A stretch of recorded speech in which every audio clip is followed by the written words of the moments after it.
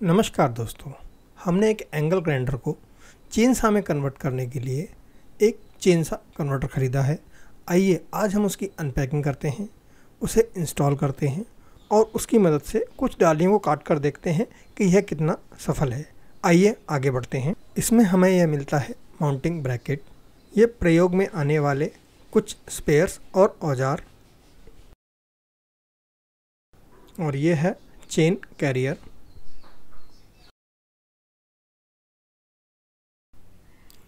यह है mounting handle और ये सेफ्टी ग्रिल और ये प्रयोग में आने वाली चेन इसके अलावा हमें इसमें यह इंस्ट्रक्शन मैनुअल भी मिलता है, जिसमें इसे इंस्टॉल करने के बारे में पूरी जानकारी दी गई है।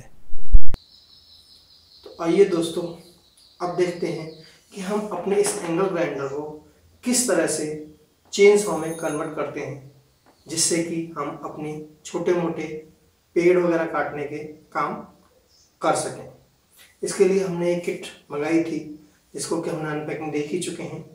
इसी अनपैकिंग के बाद में अब हम इसे असेंबल करना देखेंगे। हमारे पास ये एंगल ग्राइंडर है, जो पहले से असेंबल है। अब हमें इस एंगल ग्राइंडर की बेस को निकालना होगा। यहाँ पर इसके दवाई है। हमें इसको भी निकालना होगा।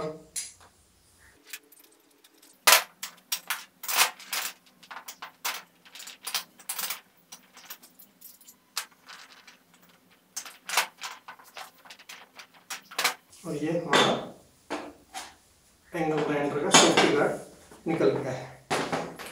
तो दोस्तों, अब यदि इसमें आप देखेंगे तो हमारे पास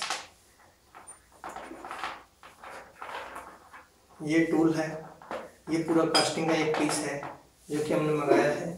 इसमें चेन की टेंशन को एडजस्ट करने के लिए ये स्क्रू है। ये जो दो स्क्रू बोल्ट हैं, जो आप देख रहे हैं, ये इस चेन शॉ को इसके साथ में फिक्स करने के लिए काम में आएँगे। इसके अलावा ये इसका सेफ्टी कवर है। ये दोनों नट बोल्ट नट की मदद से इसको इसके साथ फिक्स करेंगे। ये दोनों ये दोनों स्क्रूज इसके इसके साथ में फिक्स लगाएँगे। और ये जो हमारा है, ये एक तरह से हमारा प्राइम मूवर का काम करेगा। अर्थात यही इस चेन को घुमाने का काम करेगा और ये हमारा इस एंगल ग्राइंडर पर यहाँ पर फिट हो जाएगा। ये जो दो स्क्रूज देख रहे हैं, ये दोनों स्क्रू इस सेफ्टी कार्ड्स को लगाने के लिए हैं। आइए हम इसे असेंबल करते हैं। असेंबल करने में हमें सबसे पहले जो रबर का पीस है, जो हमारे पास आया है, इसको लगाना होगा। इसको हमें इस प्रकार से यहाँ पर फिट कर देना है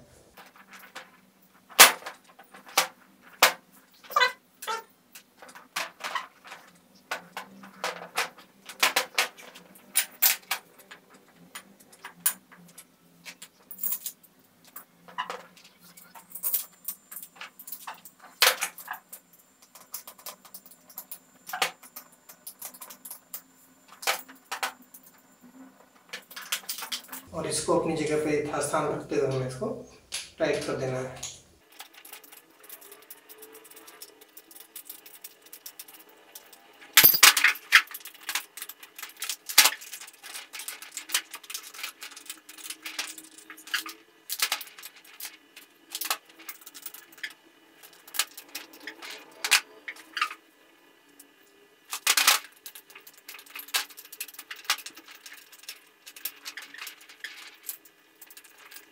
इसको टाइट करते हुए ध्यान रखना है कि ये हमारा पूरी एक सीट में रहे और दोनों तरफ़ से आप बराबर बराबर आपको इसको टाइट करते जाना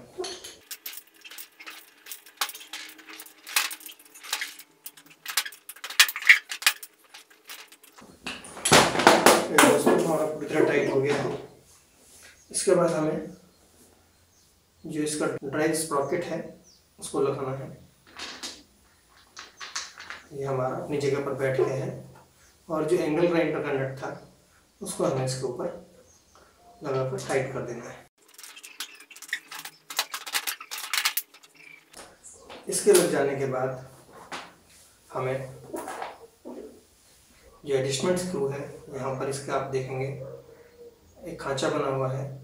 उस खांचे की मदद से इसको अपनी जगह पर यहाँ पर रखना है। और ये खांचा इस जगह पर आएगा, इस तरह से। ताकि इसे आप यदि घुमाएँगे। तो ये सॉकेट ये जो देख रहे हैं, ये अपनी जगह से इस चेन के चेन के इसको आगे या पीछे करेगा, जिससे कि चेन की टेंशन कम या ज़्यादा हो जाएगी।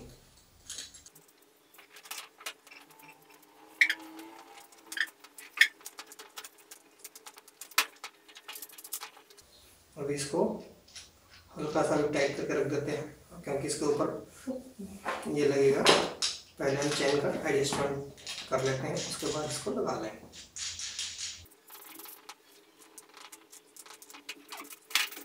ये हमारा उल्टा लगा है।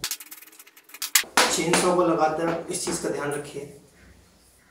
यहाँ पर ये जो आपका ये कट है, ये आगे की तरफ़ जाएगा, क्योंकि चेंज की इसकी डायरेक्शन हमेशा ये रहेगी। इसके टाइट होने की उल्टी दिशा में हमेशा हमारा एंगल ग्राइंडर घूमता है। तो ये जो आप दांते देख रहे हैं, ये आगे की तरफ़ आएँगे और यही वास्तव में आपकी लकड़ी को काटेंगे। तो हम इसे उल्टा कर देते हैं और अभी हमारा सही दिशा में फिट हो जाएगा। ये हमारा, इस होल में जाकर के हमारा ये बैठ गया है और हम इसे टाइट करना है। टाइट करने से हमारा ये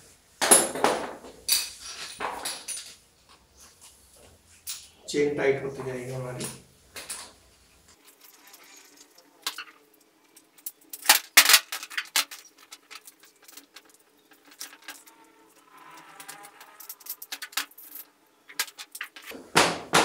इसको इसको टाइट करेंगे और ये हमारा चेन साइड की जो टेंशन है, ये चेन की टेंशन बढ़ती जाएगी।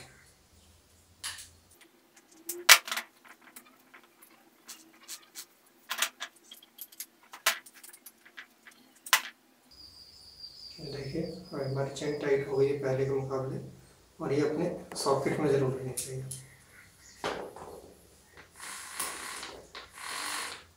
लेकिन ये अभी भी ढीली है।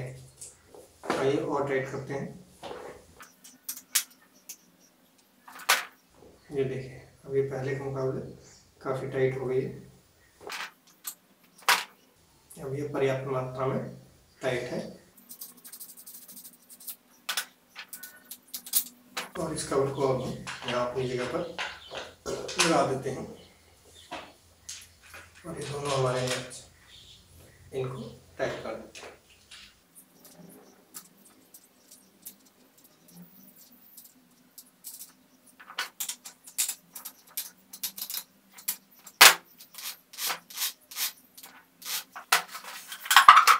हमारा तीन साल हो गया है। अब हम इस हमें सिर्फ़ इस पर सेफ्टी गार्ड्स लगाने सेफ्टी गार्ड को आपको लेफ़्ट हैंड से संभालना है, जबकि राइट हैंड से संभालना है। आपको दोनों हाथों में इस्तेमाल करना होता है।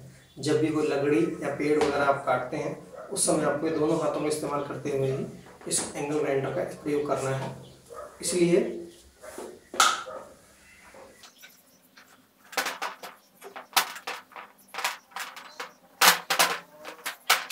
हमारा जो छोटा स्क्रू है, वो नीचे की तरफ़ आएगा। बड़ा स्क्रू है, ऊपर की तरफ़ आएगा। लेकिन बड़े स्क्रू को टाइट करते वक्त ये ध्यान रखना है कि ये जो सेफ्टी गार्ड है, जो कि हमारे हाथ को आगे चेन सा की तरफ़ चेन चेन सा की चेन है, उस तरफ़ जाने से रोकेगा।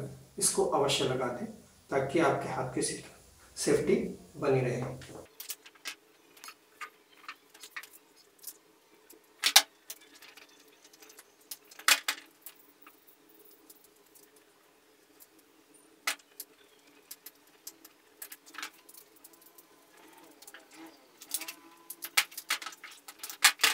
तो तो लीजिए दोस्तों ये तैयार है हमारा एंगल ग्राइंडर को चेन सॉ में कन्वर्ट करने का छोटा सा जुगाड़। और ये लीजिए हमारा चेनसा तैयार है। चेनसा का प्रयोग करते वक्त सबसे बड़ी सावधानी हमें ये रखनी चाहिए कि चेन सॉ जब ये घूमता है तो किक बैक्स अर्थात कि जब ये घूम रहा होता है तो जैसे ही लकड़ी को टच करेंगे तो बहुत ज़ोर का झटका दे सकता है आपको। और यदि आप सावधान नहीं हैं या आप फॉर्मली अच्छे ढंग से नहीं खड़े हुए तो हो सकता है आपके ऊपर ही आकर ये लग जाए और आपको बुरी तरह से घायल कर दे।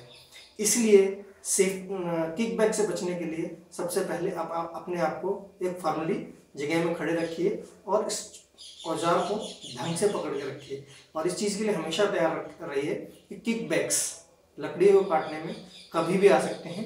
विशेषकर ये जो आप एरिया देख रहे हैं ये एरिया को टच करने में इस एरिया को यदि आप लकड़ी पर टच करते हैं तो किक बैक्स आने के चांसेस आसार बहुत ज़्यादा होते हैं।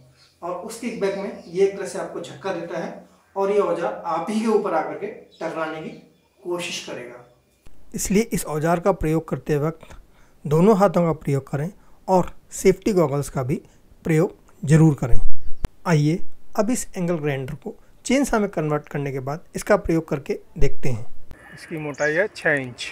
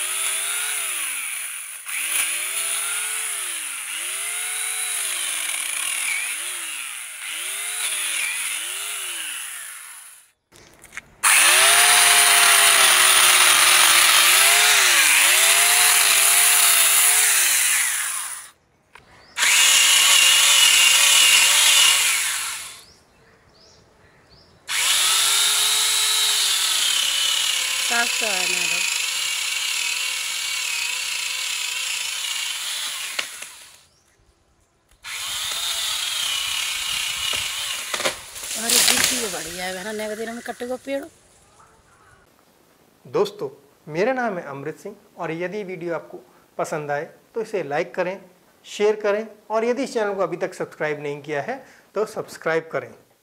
अगले वीडियो में किसी नई जानकारी के साथ फिर से मुलाकात होगी। तब तक के लिए नमस्कार, जय हिंद।